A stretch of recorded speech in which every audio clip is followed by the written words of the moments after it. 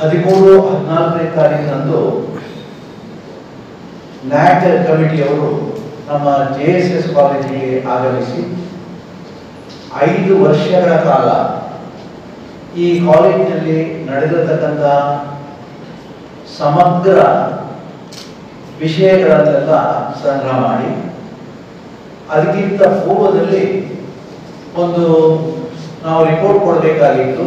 ಆ ರಿಪೋರ್ಟ್ ಅನ್ನು ಕೂಡ ತರಿಸ್ಕೊಂಡು ಮೂರು ದಿವಸ, ಎರಡು ದಿವಸಗಳ ಕಾಲ ಮೂರು ಮಂದಿ ಟೀಮ್ನವರು ನಮ್ಮಲ್ಲಿ ಬಂದಿದ್ದರು ಅವರಲ್ಲಿ ಮುಖ್ಯವಾಗಿ ಜೆ ಎಸ್ ಎಸ್ ಶಿಕ್ಷಣ ಸಂಸ್ಥೆಗಳ ಸಮಗ್ರ ಮಾಹಿತಿಯನ್ನು ಕಲೆ ಹಾಕಿ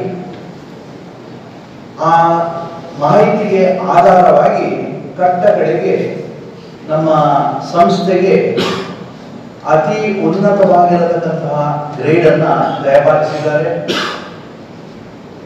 ಅದರಲ್ಲಿ ನಮಗೆ ನಾಲ್ಕು, ಇದು ನಾಲ್ಕನೇ ಬಾರಿ ಪಡೆದಿರತಕ್ಕಂತಹ ಒಂದು ಗ್ರೇಡ್ ಅದೇ ಎ ಪ್ಲಸ್ ಅನ್ನತಕ್ಕಂತಹ ಗ್ರೇಡ್ ಅನ್ನ ಕೊಟ್ಟಿದ್ದಾರೆ.